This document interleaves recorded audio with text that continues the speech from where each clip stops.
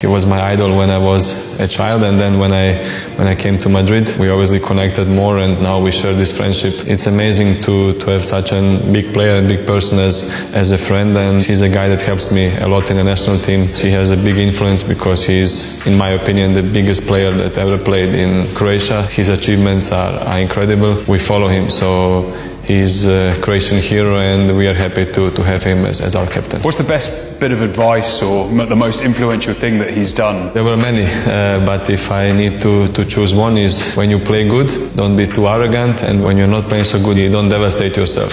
Uh, be confident, have uh, always the head high, and do your best on the pitch.